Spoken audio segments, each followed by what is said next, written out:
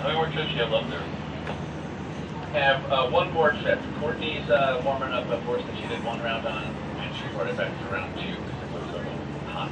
So that's it. One trip, and then right into the Clef Open Hunter 3. Thank you.